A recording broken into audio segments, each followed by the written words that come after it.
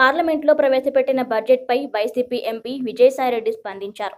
ఢిల్లీలో ఆయన మీడియాతో మాట్లాడుతూ కేంద్ర బడ్జెట్ నిరాశపరిచిందని అన్నారు. ఏపీకి ప్రత్యేక హోదా ప్రస్తావనే లేదని కేంద్ర ప్రభుత్వం ఏపీకి మొండి చేయి చూపిందని విమర్శించారు. ఈ బడ్జెట్లో ఏపీకి అదనంగా ఇచ్చిందేమీ లేదని ఏపీకి ఎన్ని నిధులు కేటాయిస్తున్నారనే దానిపై స్పష్టత లేదన్నారు ఆయన. విభజన చట్టంలోని అంశాలపై ఏం మాట్లాడలేదన్నారు. కేంద్ర ప్రభుత్వం రాష్ట్రానికి ఇచ్చిన ఏ హామీని నిలబెట్టుకోలేదని పోలవరం అమరావతి నిర్మాణంపై నిధుల ప్రస్తావనే లేదని అన్నారు. రాష్ట్ర ప్రయోజనాలను కాపాడేందుకు ఏ పోరాటానికైనా తాము సిద్ధమని ఏపీకి జరిగిన అన్యాయాన్ని పార్లమెంట్లో ప్రశ్నిస్తామని చెప్పారు ఎంపీ విజయసాయిరెడ్డి. వంటి విషయం కాదు. ఎందుకనంటే క్యాష్ రిచ్ పబ్లిక్ సెక్టర్ అండర్టేకింగ్స్లో ఉన్నటువంటి ఫండ్స్ తీసుకెళ్ళి ఒక నష్టాల్లో కూరుకోపోయినటువంటి ఎయిర్ ఇండియాకి పెట్టినట్టయితే దాన్ని రివైవ్ చేసి ప్రాఫిట్లోకి తీసుకురావాలి కానీ మిగతా సంస్థల్ని ఇబ్బంది పెట్టి ఈ ఫండ్స్ అన్నింటినీ వీటికి డైవర్ట్ చేయడం అన్నటువంటిది మంచి విషయం కాదు.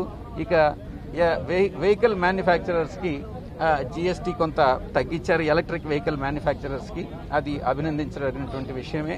స్టార్టప్ కంపెనీస్కి కొంత ఇన్కమ్ ట్యాక్స్ సంబంధించి కొన్ని కొంత హరాస్మెంట్ అన్నటువంటిది ఉండదు.